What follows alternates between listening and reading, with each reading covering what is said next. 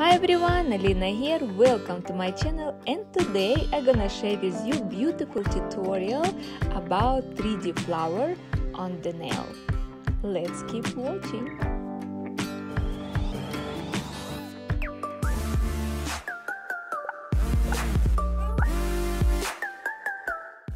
I start my tutorial with gel application. I make extension with builder gel uh, in my case, I use fiber gel. I love fiber gel because you don't have to make thick. It's enough tiny small layer and it's holding nail very nicely for natural nails or for fake nails. Then I prepare colors. So in my case, I have gel polish, white color first, and I will use some Gelina gel polish, purple color. So I like effect like ombre. It have to be from dark to light. So I make kind of dots and I mix them together with wooden stick or plastic stick. You just have to make sure the colors it's all like ombre from light color to dark color. Mix properly. If you see it somewhere it's not enough colors, you just can steal it let's say some small point from the uh, bottle and editing so it have to be come from lighter to darker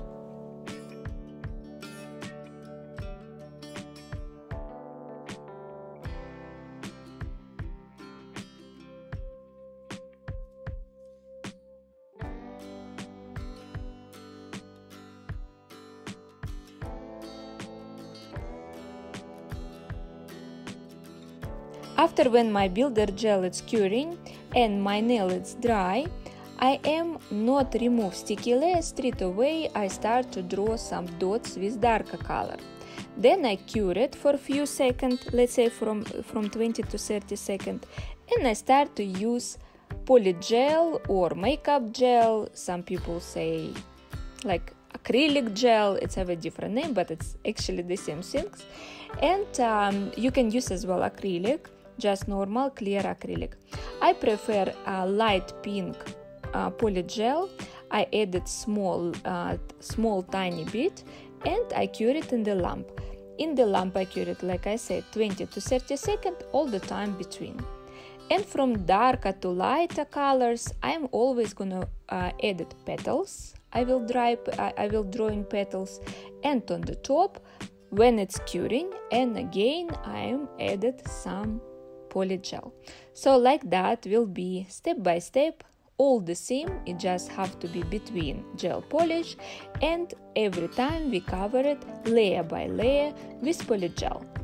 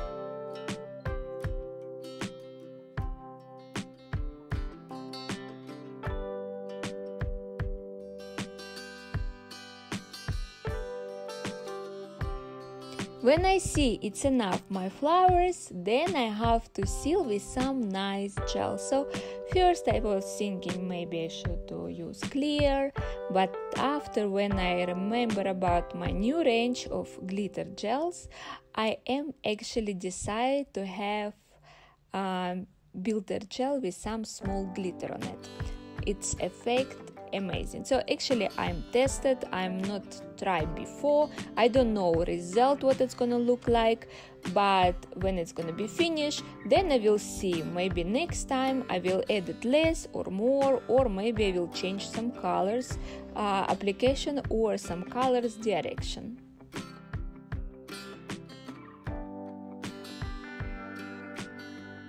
Before you cure it, you have to make upside down because when I start from the one core and I go to another one, it's already start running. Remember, it's not polygel, it's builder gel.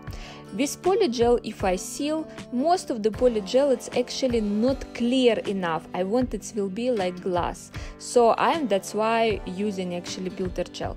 So I'm put upside down and I cure it nicely for at least one minute. Remove my form and I wipe it sticky layer with sanitizer or cleanser, uh, up to you.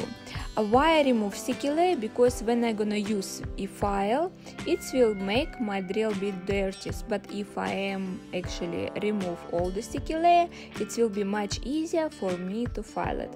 So you have to file it nicely in one from one to another direction and make sure from different side it's the same level. So it have to be no bumpy. When you see it's uh, at least little bit more look like nail then you start to file it with normal file to finish all the filings. After when we, you finish with filing you use buffer and after buffer you will put top coat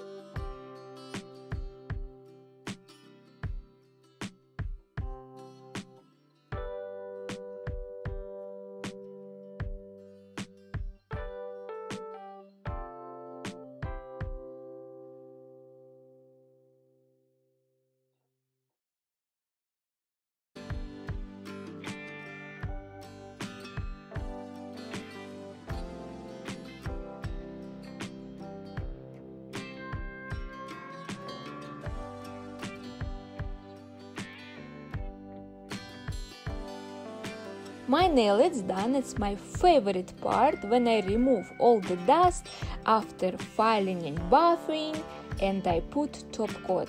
I love to put top coat after like this design because you actually don't know what is the result gonna be. So it will give me surprise. Look how amazing it is. It's look like frozen flowers inside the nail the application you see it it was actually very messy and it's don't have to you have to don't be super artistic so you just have to follow directions and colors Look how amazing it is. I'm so happy with the result. I hope you enjoy my video and see you soon.